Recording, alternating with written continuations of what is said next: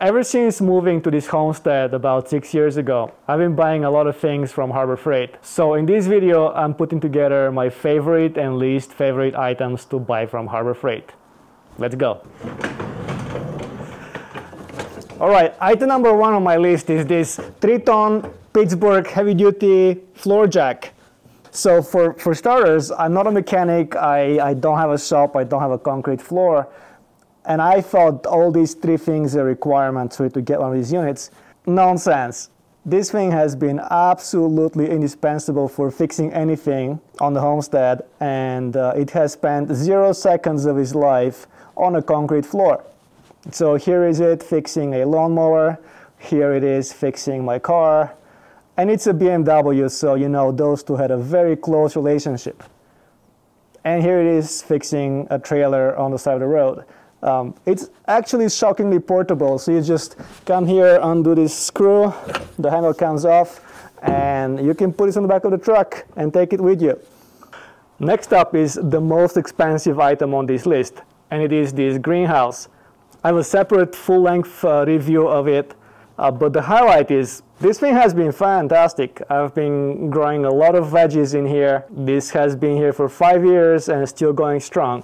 I will definitely recommend it. And for really expensive items like this, wait for a big holiday and Harbor Freight usually has a 20% off coupon for any one item. So take advantage of that for sure. For the next item on my list, I'm here in uh, the watershed and it is this uh, Drummond pressure pump. This thing has been incredible. It currently costs about $220 at Harbor Freight and competing brands are easily over a thousand. I have this installed right here. It's been going strong for four years now. So the pros of this is that it's a heavy duty cast iron construction, super sturdy, and it already has the pressure switch built into it, so you don't have to pay any more money for that. The only downside of this unit is that it operates on 120 volts instead of 240. So if that matters to you, that's how it is. But everything else, it's two thumbs up. Next on the list is a lot of magnetic items. Uh, I love these things. These are uh, 6 inch containers to store random bolts and stuff. They come in 6 inch and 4 inch. I prefer this one, it just stores a lot more stuff. Whenever I'm working on a machine, I take a couple of these and any bolt I take off, I put it here instantly. So here I have uh, like a chainsaw project and these things just can stay around here and they won't roll and, and disappear randomly. They stack like this super nicely. The only thing to watch out for is that sometimes the magnets in this are kind of reversed, so it wants to sit crooked, right? but usually the 4 inch and the 6 inch within themselves have the same polarity. In the same light, uh, you have these uh, magnets here which I've used to organize my tools. They come about 18 inches, so they fit between studs just perfectly. The only thing magnetic from Harbor Freight which I don't like is this uh, pickup tool. It has a light, which doesn't do much. I like a magnetic tool, but I like the one that is collapsible better. This one is just too long and too unwieldy for me. So I don't love it as much as I thought. For example, this is a piece of one that collapses, right? Uh, it used to be longer, but I broke it, um, and I really need to go get another one of these. Uh, this, I think, is a much better design because it just is so compact when not in use. So a bunch of people that uh, have made similar lists about uh, what to buy from Harbor Freight uh, are saying to buy impact sockets from there. Uh, and I, I agree with this. You can't really go wrong with impact sockets. I've had this from before, yeah, it's, it's some like random brand, it doesn't matter. The thing that matters to me is that it is all in metric only and it has a compact package. So what I have from Harbor Freight though is these guys here, they kind of pivot a little bit and I added these labels so that you can see the size on them. These Torx, I probably just needed the big one here. I have long hex here, reverse Torx, a bigger set of reverse Torx. I probably have more stuff here, but really, like, unless you're really a high-paid mechanic for any kind of sockets or tools that are not super specialized, Harbor Freight is the first place I go to, to shop. For example, this is a set from Stanley. I love how compact it is. It's all metric. Um, the thing I don't love is that it doesn't really have clear numbers of what is what. So I had to like write this down. Uh, the other thing I don't love is that, look, look at this. This has 12 sides. I believe this is much easier to strip than something like this, which has six sides. I will always pick a socket that is this kind instead of this kind. You know, that's just my opinion. Next on my list is this hole saw kit. Again, I added this uh, label here. And this comes from uh, three quarters until two and a half inch two and a half inch sizes.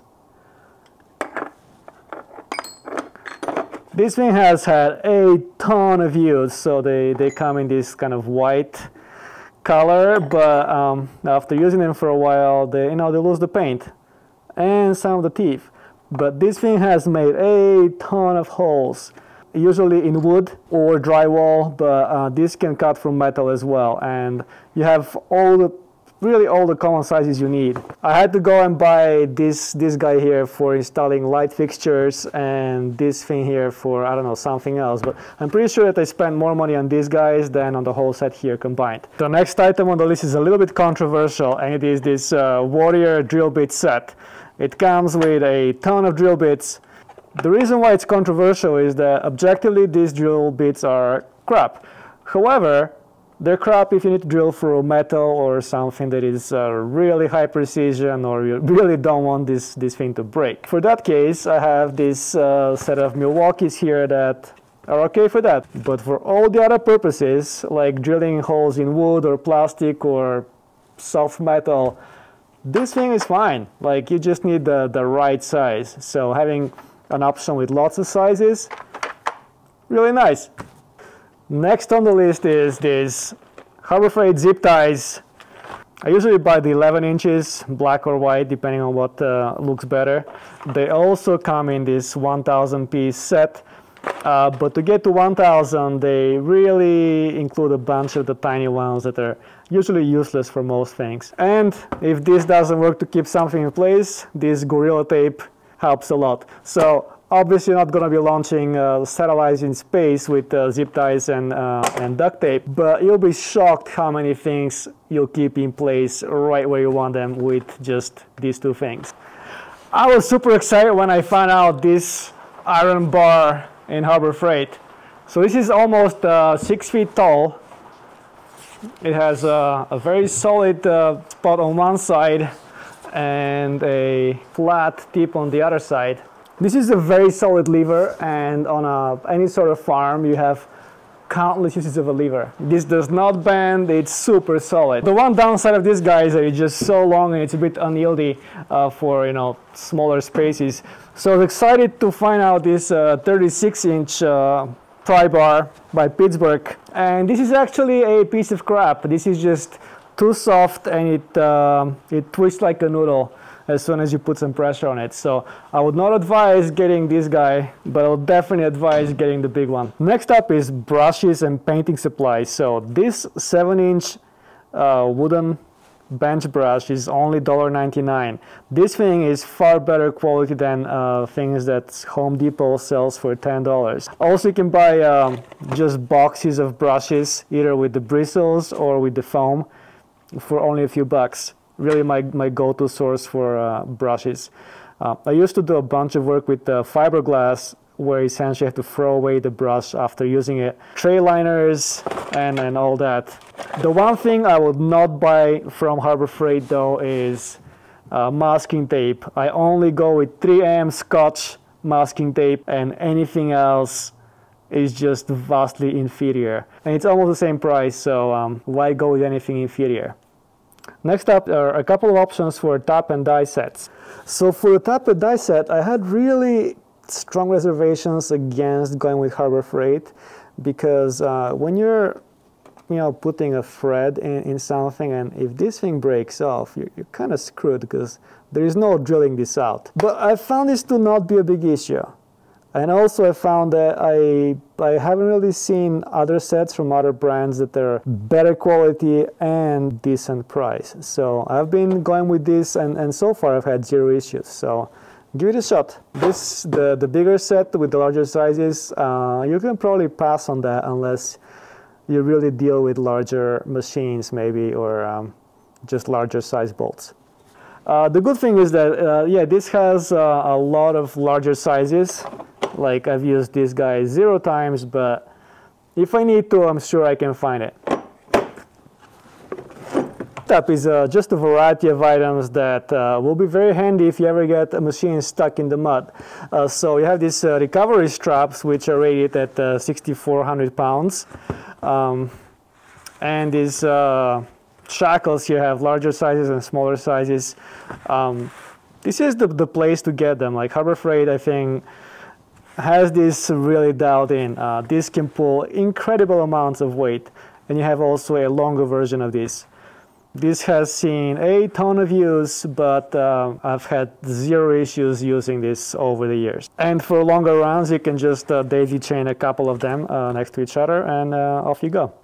For times when you really need something sturdy though, you can get this uh, utility chain and it comes in a bunch of different sizes. I found this uh, 5 16ths or 1 quarter to be really good sizes. Um, so it comes with a chain like that uh, and then you can buy uh, this hook at the end and it really is all you need. Um, just for just a note though, you can use a is a one quarter inch hook. It still works on a 516 chain. You just need a, a hammer to convince this to go in. But once it's in, it really works pretty well. So it goes on like this, right, uh, over the whole chain. Don't don't try to do this stuff uh, this is not good. No, do not do that. It goes over the entire link and it just pulls like that. That's how it's designed to be used.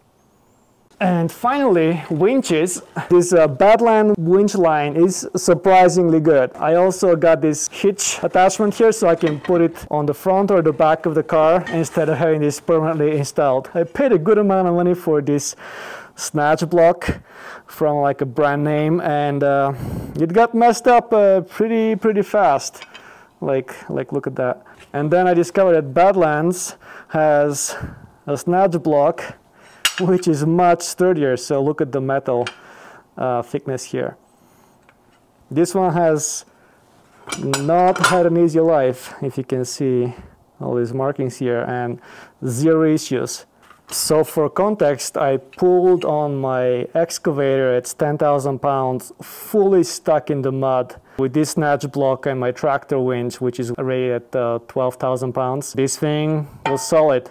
Super highly recommend it. And if you're only getting uh, smaller things stuck in the mud, this uh, come along winch uh, has been actually fantastic. It's you know a little clumsy and all that, but you know once you get pulling on something, uh, you can You can pretty much pull anything out of anywhere with just this really compact setup. No need for power or anything else, and even comes with its own uh, kind of a snatch block here. So pretty good uh, as a starter tool. The next broad category is air tools and air setups. I have a whole long video about this uh, central pneumatic 11 gallon uh, portable uh, air tank. It's pretty handy tool uh, to carry air around uh, where you don't have access to a compressor. Uh, check this out to, to see how to un-Chinese it and improve it a bit. And a very quick, easy tool to use all this air on is this central pneumatic um, nailer or stapler. So I have both this central pneumatic one and a, a Banks one here. Uh, the difference is that uh, the Banks one is somehow maybe a higher end brand, but this guy only can do uh, brad nails this one here can do brad nails or staples. Uh, and honestly, I, I, prefer this a lot. Uh, so you can open this here and switch from brad nails to staples. Let me just swap it out, goes like this. And now you're doing staples instead of brad nails. I, I, prefer this much better. I actually have my uh, air hose reel also from Harbor Freight. This is the non-retractable version uh, and I improvised here and set up a double hinge so it can open and swing outside and I can be out in the wild using uh, you know the air tools. Uh, so I just used a couple of uh, hinges tied together and a uh, this like sticky thing. For 20 bucks you can't really go wrong with it. And at the same time, a tool I found disappointing was this uh, air hammer. So it um, counts like this and comes with a bunch of uh, bits here. I just found this to be underpowered for my purposes and I have barely used it. And because of that, I cannot recommend it. The next item on my list is this uh, Pittsburgh Automotive tubeless tire repair kit. It looks like this uh, in the store and this thing is the best 650 you'll ever spend because if you have a flat tire you can repair it without even taking the freaking tire off. Uh, so once you use up this kit you can keep uh, these two uh, tools from it and then just buy more glue from slime and more repair plugs also from slime. And uh, with this set here you can repair a lot of a lot of tires. Harbor Freight has amazing value in these assortment boxes, like these uh, hose clamps here. Uh, how many is that? 40 pieces of hose clamps. These are actually pretty sturdy stainless steel clamps. I'm, I'm very happy with them and they come in all the sizes you want. Similar to these uh, linchpin assortments, a lot of stuff you need in one box. And the same with uh, these copper washers. If you're doing oil changes, you need to replace this every time and you're not gonna just buy this one at a time, right? So uh, things like this Harbor Freight is worth checking out for. The item that really blew my mind when I found that Harbor Freight sells is this zero gauge battery cables. These are just monstrous cables. I, I love them. And they go really well with this kind of uh, military style um, battery hookup. For just heavy machinery, these are just great battery cables. And just to, to compare, this is what you normally see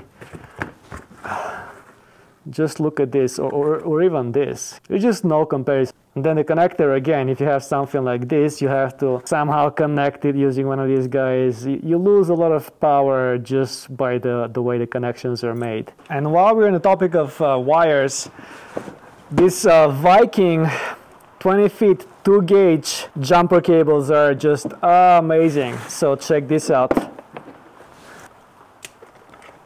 I have nice solid clamps 2 gauge wire. Like check this out, this is another brand of jumper cables. I, I, I can't emphasize enough just how much better this one is. This is just a joke. I don't know why people are allowed to sell this kind of stuff. But these, these are probably the best jumper cables I've ever seen in my life. Harbor Freight usually has very competitive pricing, but there is one case where you should be very careful. Let me show you. There are many cases where Harbor Freight sells brand name products like this Permatex uh, anti-seize or this uh, gasket maker. Uh, the thing is, these are brand names that have nothing to do with Harbor Freight. It's just that Harbor Freight also sells them. And because of that, um, they don't always have the best deals there for those specific products. Let me give you an example. So this is uh, my power probe. By the way, this is an amazing tool. And if you're doing any sort of electrical work or troubleshooting, this is indispensable. However, because it's a brand name, it has nothing to do with Harbor Freight. You have on Harbor Freight, it costs 179.39, and at the same time, it's 114.97 on Amazon. So for brand name products like these guys, definitely shop around and make sure you're getting the best price. And now for some tools I would really not buy from Harbor Freight, mostly because there are better versions of it out there. One of it is uh, the Harbor Freight gloves. I, I used to buy these guys and um, the ones that are kind of thinner, they rip immediately and the ones that are thicker, you just lose dexterity in the fingers from them and then they also rip. So finally I found this, uh, these guys here, Venom Steel. So apart from the ultra manly uh, rough name, uh, these guys are pretty thin, you don't lose any dexterity, and I'm finding that um, I end up putting them away after the job is done and uh, having a bunch of used ones to reuse because they're still perfectly good. I never could do that with Harbor Freight gloves. The next thing I would never buy from um, Harbor Freight is uh, batteries. So for disposable batteries, I usually just go with Duracell. Uh, you can buy them from Costco at a reasonable price. And for the rechargeable ones, I usually go with um, actually Amazon Basics. They're pretty good batteries and you can recharge them uh, a lot of times. As for battery power tools, I would either go with the DeWalt 20 volt line or the Milwaukee M18 line. Um, Either of these two brands will get you a lot happier feature than anything that Harbor Freight sells. And um, I have this one exception of this Ryobi uh, PEX crimper tool. I bought this because there was no other competitor on the market that was selling it. Uh, but I also went ahead and bought this uh, adapter here so I could use my DeWalt batteries on the Ryobi tool.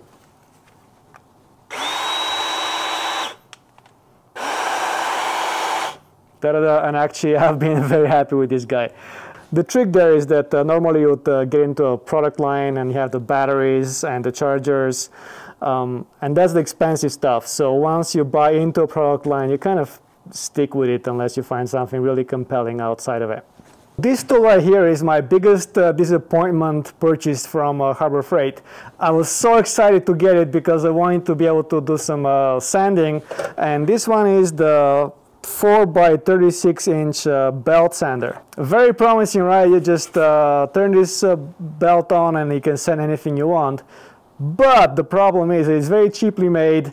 Uh, it's an absolute pain to change this belt, which, which is why I've never done it. The motor here is underpowered and it is only operating at one speed. Uh, and uh, maybe the biggest reason why I don't like this is that I figured out that the tool I really want is actually this one right here, and this is what I got shortly after. This is a 2 by 72 belt sander. The difference is that this one is uh, homemade. It has a 2 horsepower motor.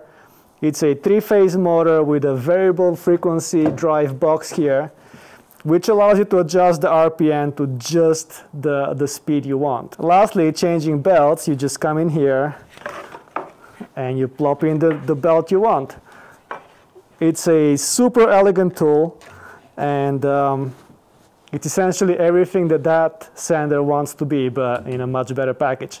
Um, I don't know if anybody actually sells this at a reasonable price, but there is a guy on YouTube called, uh, I think, Jeremy Schmidt, he has an amazing video about how to make one of these guys. I think this is uh, loosely based on his design.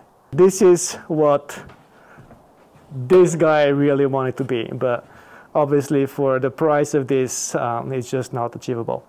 So there you go. These are my most favorite and least favorite things to buy from Harbor Freight. I hope this was useful to you. Give me a thumbs up if so, or leave a comment if I missed anything. Thanks again for watching, and on to the next project.